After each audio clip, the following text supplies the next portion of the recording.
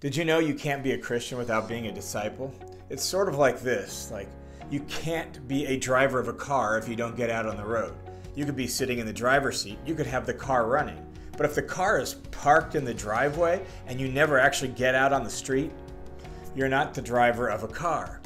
And in the same way, you can't be a Christian if you don't actually engage in discipleship. So, since that's true, since you can't be a Christian without being a disciple, are you one? In other words, what does it mean to be a disciple?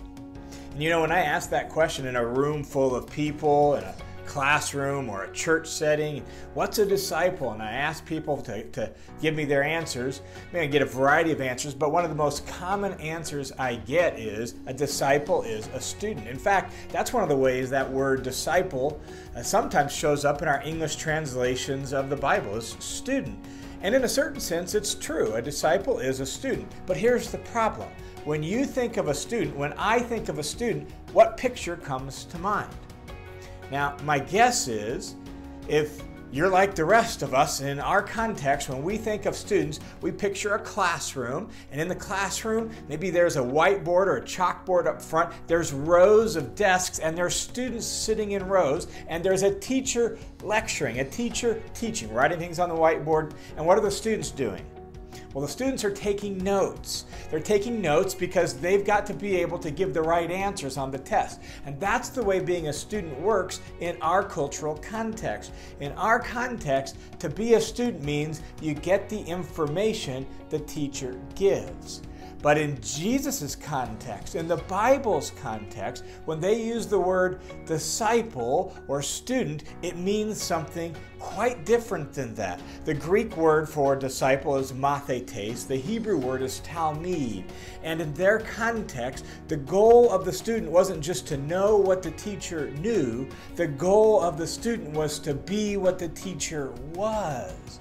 That's massively different than in our context. Can you imagine in a say a biology class that you're sitting in because it's a required freshman class for your college degree and you don't go into that class with any expectation that when I get done with this class I want to I want to be exactly like professor right?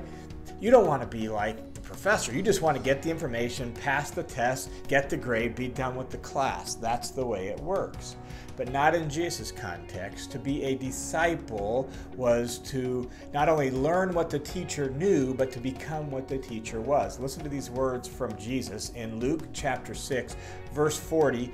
Jesus just assumes that this is the way being a student or disciple works. Luke 6 40 says, A student, when he is fully trained, will be like his master, like his teacher. And the word translated student there is mathetes, the Greek word for disciple. A disciple, when he's fully taught and trained, will be like his teacher, like his master. And Jesus can say that because that's just the assumption in the culture. That's just what everyone knew. You became a disciple, a student, with the end goal of being like your teacher. So, in our cultural context, the word student doesn't totally work. A word that works better is the word apprentice. Apprentice. Why? Because an apprentice is an active learner. An apprentice is a doing learner.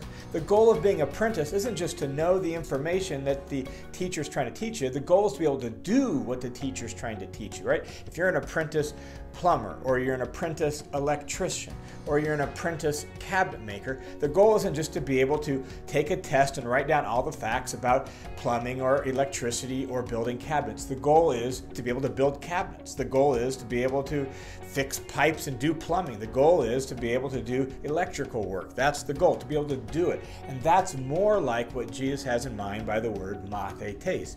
A disciple becomes like his teacher. Dallas Willard puts it like this An apprentice to Jesus is learning from him how to do life the way Jesus would if Jesus were in his or her place. Like to be a disciple of Jesus, to be really an apprentice, get this, an apprentice in Jesus' school of life. That's what it means to be a disciple, to be an apprentice in Jesus' school of life. And so when you become a Christian, you you necessarily become a disciple. You can't be a Christian without being a disciple, and that means to sign up for Jesus School of Life, where you're an apprentice to Jesus to learn how to do life the way Jesus would if Jesus were in your place, living your life with your circumstances and your situations and your resources. How would Jesus live your life if he were you? That's what it means to be a disciple. You're an apprentice in Jesus' school of life. And so the goal is to become like him, to become like our master, to become like Jesus in the whole way we carry out our life, to become like him from the inside out, so that in every way our life begins to reflect the very way of life of our master, our teacher, namely Jesus. That's what it means for us to be a disciple. Now, over the next few episodes in this series, I want to talk about how do you do that? What are the building blocks of? What are the core ingredients to being a disciple? And so you can check out some other videos right up here um, on this very topic of how to be a disciple of Jesus. And if you haven't already, go ahead and subscribe right up here to my channel so you never miss an episode. And let's do this again. We'll talk soon.